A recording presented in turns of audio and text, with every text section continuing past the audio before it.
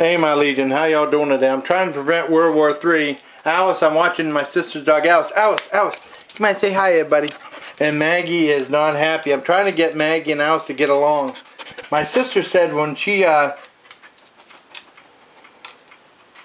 when she uh, came in, she, Joey said Maggie arched her back like she's only seen the movies, and I think Alice may be slightly frightened of her. So, my Maggie is, uh, well, hopefully everything will be okay.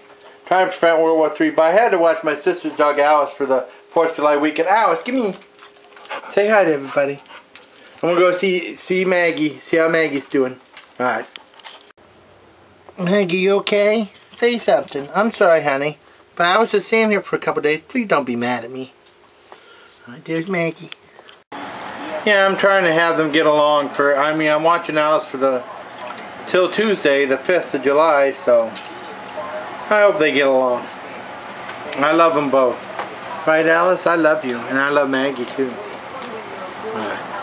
Till next time, I play. Take care of my Legion.